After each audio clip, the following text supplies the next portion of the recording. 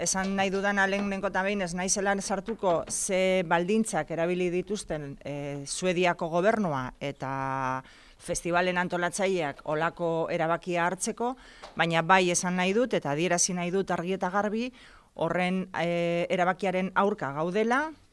nahi dugula e, ikurriña e, egotea, zergaitik ez, ikurriña e, ofiziala da, Euskaldun guztiei e, ordezkatzen gaitu, pentsatzen duguna, pentsatzen duguna, eta uste dut e,